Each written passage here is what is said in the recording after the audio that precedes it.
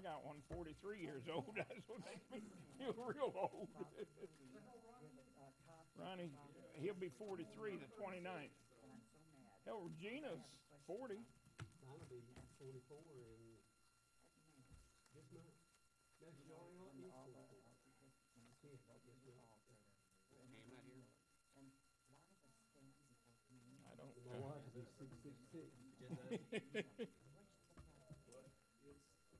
I was told years ago that the preferred I've been by several times to see, uh, My Miss mother? Ruth, and Is she's she always sleeping? sleeping, and got, one time I tried to, I think she was just pretending to be asleep. I, I, I was sure, I was sure she didn't, didn't move or anything, I reached over and started pulling on the baby, and she, Yeah, she gets, yeah.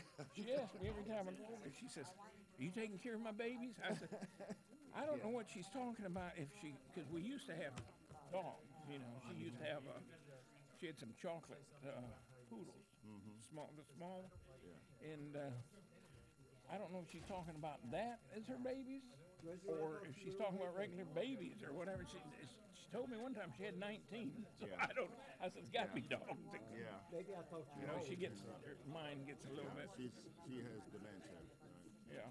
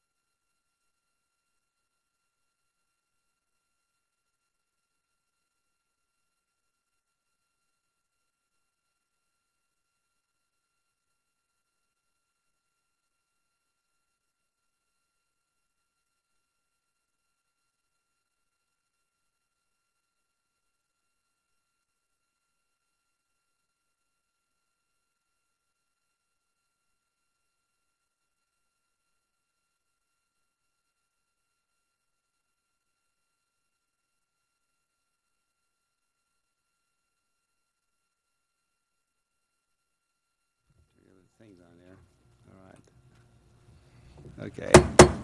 I'd like to call to order the uh, meeting for the Jacksonville Planning Advisory uh, Board for October the 14th, 2013. Uh, We will stand and be led by the Pledge of Allegiance, Mr. Aki, followed by invocation by my- myself. I pledge allegiance to the flag of the United States of America and to the republic for which it stands, one nation, under God, indivisible, with liberty and justice for all. Dear God, as we, come to, uh, to you tonight, it's rather unique. Normally in the past, I always have someone else on the board to, to come to and pray to you for the citizens of Jacksonville and for the town we live in, but I just was laid in my heart that we need to come to you and a special prayer that we just still ask for your guidance. And then I'm so thankful to serve on this committee and, and be a part of it. And they, they've given me such a, a role as be the leader of this, but yet I have great help, and I ask for blessing on each of their lives. I ask for blessings upon this town as we struggle right now, Lord. There are people out there hurting, and I just pray a special prayer for them. I know this is so new, unique for a planning board to meet. You know, that we talked about the business of Jacksonville, but we still are made up of a city of people and, and their lives. And there are a lot of people right now who are hurt because of what's going on with our government. And I pray for our government, our officials, that they get past all this bickering and that we can get on with our lives. The people here who need that money, they need those incomes, they need those paychecks to take care of their families and their friends, to support the businesses in this town. And so I ask a special blessing upon the city of Jacksonville, the military, and all they do for us. And Lord, we just continue to ask for you to give us guidance as we always tend to the business of Jacksonville that's always in, in for the good of the citizenship here, the good for our city, the good for our, you know, our state and our country. And once again, we just thank you for how you always seem to take care of us and that we just never give up on you, Lord. And just thank you once again. In Christ's name we pray. Amen. Amen. Thank you for joining us tonight. So I know that was uh, rather uh, different uh, as our normal opening, but uh, I'm glad to be a part of it and glad it was laid upon my heart to do that. And um, I felt it was just needed. You know, we have a lot going on in this city, a lot of people hurting. I see it in my practice, you know, that people have changed schedules to come in and have their needs met, you know, medically, dentally, or whatever. But, you know, we're going through a hard time, and I hope the city of Jackson, the people here, we're a strong people you know, we reach out and we have a, such a unique responsibility to each other and to the military families, and that those people look around outside your normal homes, and, and if someone needs needs or hurting, or they need to, they need some food, or they need something just to get by, while our government is playing these games with people's lives, you know, and it's not about the party; it comes down to people, and I just hope that we'll reach out and and we'll just walk with our heads high just in the city because we live in a great city here in Jacksonville. It's unique, and we have our own set of problems, just like any city.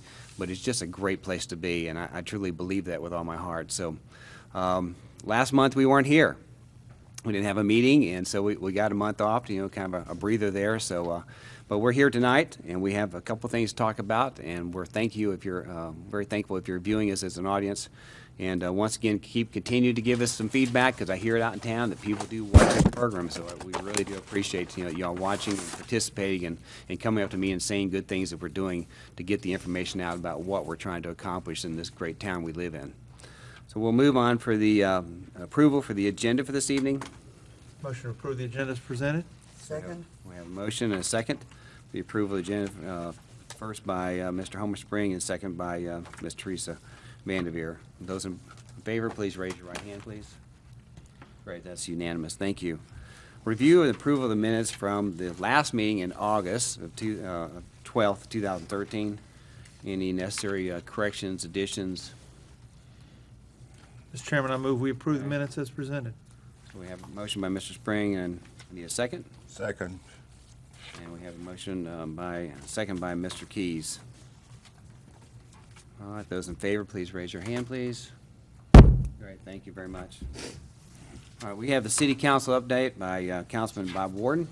Good to see you here, sir. Thanks, Uh, Just a couple of items. Uh, Number one, uh, at the last, one of the last city council meetings, we approved the, uh, the uh, uh, conditional use for the VA outpatient clinic on Henderson Drive Extension, and I'm sure if you've been by, you've seen that they've already been clearing the lot, and I've had several people ask me what was going in there.